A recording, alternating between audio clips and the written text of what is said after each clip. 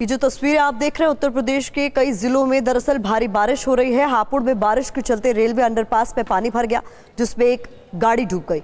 Car सवारों ने किसी तरह से अपनी जान बचाई है। उसी से जुड़ी हुई तस्वीरें इस वक्त आपके सामने। तो यूपी के हापुड़ में किस तरीके से एक अंडरपास में पानी में गाड़ी फंस गई, उसकी तस्वीरें आप देख रहे हैं।